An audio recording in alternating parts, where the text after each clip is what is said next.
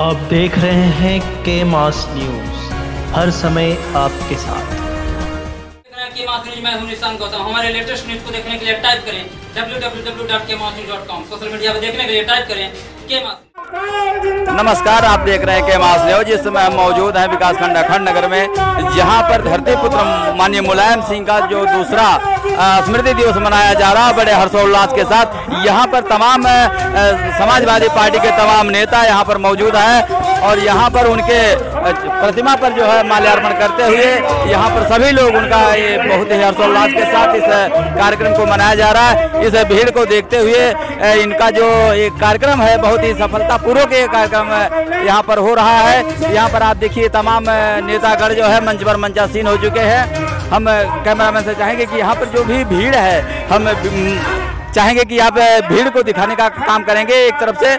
और आप देख सकते हैं कि तमाम लोग इस कार्यक्रम में शिरकत किए हैं। और आप देख सकते हैं कि जो यहाँ पर यहाँ पर सांगीतिक कार्यक्रम करने के लिए तमाम सांगीतिक पार्टियाँ मौजूद हैं और इस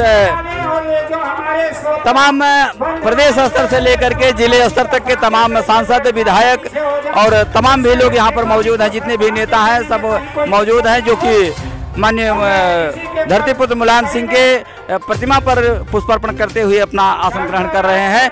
आप बने रहिए हमारे बीच में पूर्व पूर्व मंत्री माननीय रामजल राजभर जी मौजूद हैं। हम इनसे जानना चाहेंगे कि आज जो ये माननीय धरती पुत्र मुलायम सिंह की जो जो स्मृति मनाई जा रही है दूसरा परिनिर्वाण दिवस मनाया जा रहा है उसके विषय में आप क्या कहना चाहेंगे? मंत्री जी अभी जो आपने भाषण दिया है मुलायम जी के कर्तव्यों को लेकर के। तो मानवर कांसीराम साहब और मुलायम जी का एक बार गठबंधन हुआ था। तो और लगभग ऐसा हुआ कि नौ तारीख को उनका परिनिर्वाण हुआ दस तारीख को इनका परिनिर्वाण हुआ। तो इसमें इन दोनों के विचारों में क्या समानता आपको मिलती है? मैंने देखिए मानवर कांसीराम साहब भी दलित ओबीसी पिछड़े वंचित को आगे बढ़ाने के लिए काम किए थे। उनका जो मिशन था और जो मूवमेंट था, वो धरातल से जुड़ के चला था। जो गरीब, वंचित पिछड़े थे, मानवर साहब ने जोड़कर बहुजन समाज पार्टी बनाई और उन्होंने शासन सत्ता में भी हम जैसे लोगों को भेजने का काम किया।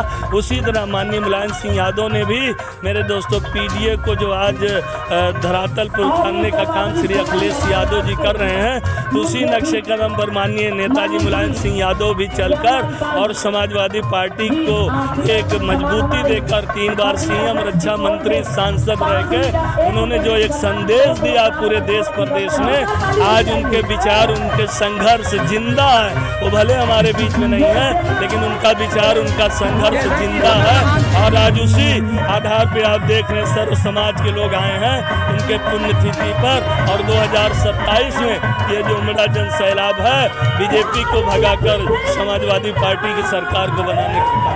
जैसा कि समय तमाम जातीय संगठन बन चुके हैं, उन संगठनों की वजह से क्या हम लोग एक हो पाएँगे? इसलिए हम लोग एक एक हो पाएँगे।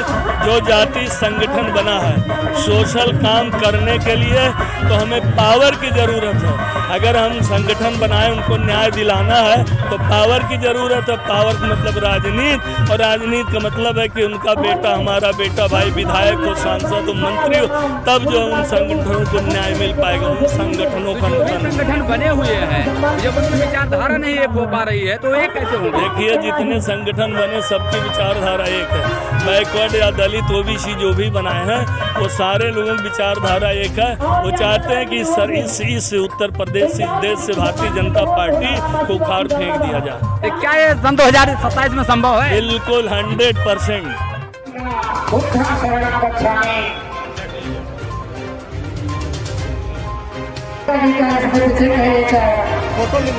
अध्यक्ष जी को भेंट करेंगे और रंजन जी इस समय करते रहे हैं अरुण कमलिया जी द्वारा मुलायम जी की इसमें संविधान लिखने वाले बाबा साहब भारत रत्न भीमराव अंबेडकर को ध्वनि से बाबा साहब को देख करके पूरा पंजाब की गड़गड़ाहट से गूंजता हुआ इस समय और भाई श्यामलाल पाल जी प्रदेश अध्यक्ष और इस समय नेताजी के फ़ोटो प्रतिमा लाइन लगी हुई है लोग भेंट कर रहे हैं इस बच्चे के रूप में तरफ़ नेता नेताजी के चरणों में श्रद्धा सुमन समर्पित करते हुए महापुरुषों के चरणों में नमन बंदन करते हुए आज दूसरी पुण्यतिथि के जो मुख्य अतिथि है, माननीय राष्ट्रीय अध्यक्ष जी को भी बधाई दे रहा हूँ।